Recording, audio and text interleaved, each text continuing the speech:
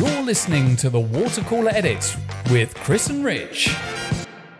Hello, everybody, and welcome to another episode of the Water Cooler Edit with My Bayut. On this episode, we'll be talking about the recent awards that we had, and of course, my special guest here today, Sahar Khan, will tell us more about the extravagant event that we had. And it honestly feels like, Sahar, that we only had it yesterday. It does. It does feel like that, and we're still receiving a lot of um, feedback from clients as well, and they also feel like you know it's just like a couple days ago, but everyone's very happy about them. It was it was such an incredible evening. I mean, it was just down the road. So it's very lucky for us that we're literally five minutes away. Of course, it was at the Jumeirah Emirates Towers on the the terrace. Yes. Correct. Yeah. It was a magnificent view of the Dubai skyline for a start, just situated just behind Sheikh Zayed Road, which always offers breathtaking views. Uh, but of course, it was filled with some of the best in the industry. It was. Um, we had all the all of the you know um, cream of uh, Dubai. You know the luxury real estate, uh, the industry. Everyone, the who's who of the industry was there. Um, so it was it was a fabulously planned event. Um, yes, like you said, the the skyline looked beautiful. We have some of the landmarks there. So it was just an absolutely fantastic venue. So if I'm not mistaken, we had what was it? Somewhere close to is a big number, and I always forget because it's just it's just so many awards that we gave out that night. It was a close. It was over forty awards that we had. It was actually over fifty. See, 50, 50 awards, awards. over 50. And that's not including the six that we gave as well for International Women's Day, is it? It includes that, so it was around fifty-four. Okay. If if uh, if we are to be exact, but um, yeah, it was a lot of awards to be um, you know handed out, and we had to plan it the way in a way that you know the the night would still be young when we finished. So 54 awards went to many different agencies here, scattered across the United Arab Emirates for real estate agents in Abu Dhabi, Ajman, uh, Sharjah, Ras Al Khaimah, Dubai as well. And not just the massive ones that you everybody knows about, of course, we also had the smaller ones, you know, the up and coming agencies that have really started to make a name for themselves. A few uh, things about how we planned this and why we were very careful uh, that we included all sorts of agencies, big and small, um, to be recognized over there. And that's why we had three different categories for each uh, you know uh, three different segments to each category you know. So we had the boutique category and then we had the sme and then the enterprise so that we can reward and recognize the big agencies but the the smaller you know the the newer agencies the the rookies in the market should not feel uh, neglected or ignored. Yeah, and it's it's kind of similar, I guess you could say, to the car market because every kind of week, even every day, a new agency is popping up somewhere, Yeah. and they're becoming big players. And property in the United Arab Emirates is a huge market. You know, everywhere you go, there is property for sale, whether it be um, luxury apartments, affordable housing. It's available, and again, this event was to bring the best of the best all together in one convenient location. One interesting thing that for me that really stood out was when I was talking and interviewing a few of the clients that had won was the divide between men and women in the uh, real estate industry. Now, I was perplexed of how many women there are compared to men. There's a lot more women in the real estate industry compared to men, you know, and it's it's amazing. I think the split would be um, somewhat similar. Um, I wouldn't say there are more women than men, but there's a good number of women in the real estate industry, and I think the the credit goes to the city uh, and the country, honestly. Um, and after the awards, and actually on the day of the awards, um, we also had uh, Women's Day, right? So it was the same day, um, and we had a session over here in uh, Bayut and dubizzle, um, and we were actually discussing how fortunate all of us are over here uh, in this country because you know a lot of the struggles that other countries may have when it comes to women empowerment and you know uh, women in the professional um, you know uh, space. Um, but we don't face a lot of that over here. There's not much many challenges especially in the industry that we are in. Um, i think so you know kudos to this country uh, the visionary leaders. I think we're in a fantastic space to be. Um, and yes referring to the event as well there was a f- fabulous uh, you know um, uh, inclusion from both genders and it was really nice to see everyone dressed up and you know all men and women in their uh, you know uh, best attire And of course, it wasn't just about the agencies, it was also about the people's choice as well. Here at Bayut, we gave here at Bayut and dubizzle, we gave the opportunity to you, the viewers, to choose who you thought were the best in the industry, whether it be the agency as a whole or as an agent.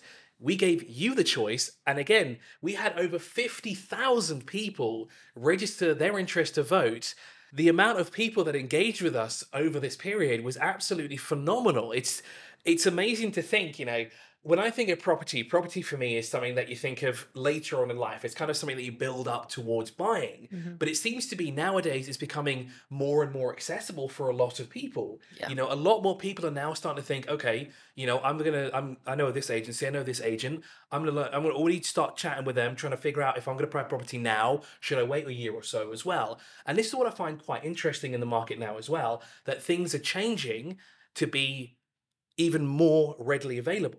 You know, if I look at how old I am now, if I look back 10 years ago, I wasn't even thinking about buying property, you know. But we learned from people engaging with us that age is just a number. You know, we had all sorts of people uh, voting. Yeah, yeah, it's absolutely. It's uh, we don't even talk about age when it comes to property buying anymore, honestly, um, because you know you look at the trends you know how the market has fared especially for this region and you talk to people who invested in property off plan properties uh, primary market secondary market um, and when they bought like 10 years ago or 5 years ago they're they're bearing the fruits of you know their their investment now. So it's it's incredible to see and even right now with the with the with the way market is progressing it's it's phenomenal to see how and especially in this region because you know we're looking at the global uh, you know uh, industry real estate industry industry uh, as well. But in comparison with what's happening in the world, I think we are progressing at a rate that's uh, that's just unheard of. It's it's phenomenal. It really is. Um, I mean, I could go back to stories where I try to do this myself, and every year I kind of look at where I want to buy property within mm-hmm. the Emirates, and usually I look at Northern Emirates. You know, sort of use it as a either a staycation area or somewhere to rent out short term. But then there are so many properties that kind of pop up here and there, and literally it seems to be, as I said before, every day something new pops up. You know, if you look at just over the road, there's two new buildings that are going to be popping up quite soon. Yeah, yeah. Thinking, okay, that's great. I'll live right next to the office. I could literally walk. Yeah. you know? I think it's interesting because also if you have some sort of capital that you want to invest in right and there's so much happening in the city and so many attractive options that you actually get confused on okay what do i do? right? Where do i invest? because we have so many incredible developers. We also have that uh, we also had that as a category for people's choice the, this time of uh, you know our awards um, which was also great to see. And people's choice is very important. I think it's an important factor because all of these agencies are ranked and rated because of those people right? I mean it's it's after all at the end of the day it's the people who are investing in these properties and using these agencies or the developers when they go for off plan. Um, so it was in, in very important for us to hear them out you know through this voting system. Exactly you know and it's always nice to get the people's opinion on who is performing the best yes, we have our internal criteria, but hearing from people makes it that much more special when you win. Now, of course, during the evening, as Sahar mentioned before, we awarded the influential women in the industry, and we had no less than six that were awarded. Two of them actually came back again because they were also Agents of the Year or they were Agency of the Year, uh, even True Check champions. So it was nice to see the same people kind of, you know, performing at their utmost best, even if, for example, they might not be in the biggest company. You know, they might have not have that many staff, you know, but they're a tight knit bunch and they really work hard to be the best of the best. It's it's as simple as that, um, Chris. That you know, and I was honestly Fiba and myself. I'm sure I can speak for her over here as well. We were really honored to be amongst those women and other women in the in the audience as well, um, because we can see and it shows um, because even when we were looking at the criteria how they they put in their the, the the full effort and you know they put in their best foot forward. Even when we speak with them or talk to them about different things you know with different segments that we have they're always open to you know some sort of uh, conversation and you know a debate. And it's it's really uh, refreshing to be in that in that crowd and you know to know uh, these incredible women. I think it's it's it's it's really commendable and they, of course, they all do it on a highly professional level as well, which makes it even better. Yeah. So, the burning question now, Sahar, is because you're probably the best person that I can ask this. Next year, mm-hmm. is it going to be bigger? Is it going to be better? Is it going to be more? Um, so I was discussing this with the team, and um, we already have 54 awards, like I said. Um, so it is 100% going to be better. Uh, that I can say for sure. Um, we are looking at, you know, and because every time we have done something, we've done it at a different venue, you know. So it's it's also, you know, you get a little bit limited when you are uh, sourcing for venues. Uh, a lot of venues don't offer uh, the kind of space that you're looking for when there's a lot a lot of more people. Uh, but um, but you know, I won't give much away. The team has already started working on next year's awards, but um, um so yeah, just stay tuned and wait for next year. Because 54 awards equates to what? Close to 400, if not 500 people? Yeah. So if, yeah. if we double that, if we make it 108 awards, that's close to a thousand people. Where are we going to host that? Yeah, because we we even this time around we wanted to make sure all of our finalists were were invited, and it was incredible to see because we had a hundred percent turnout. It is ah, I don't think I've seen any event where there are no no no shows at all. So it's um, it was really nice to see that everyone came, everyone was looking forward to the event, um, and um, yeah, next year it's uh, like I said, it's hundred percent going to be better. Um, not I don't know about bigger, but we will probably introduce maybe a few more categories for people's choice. Uh, so you never know. Yeah. So there might be that exclusivity now part of it too.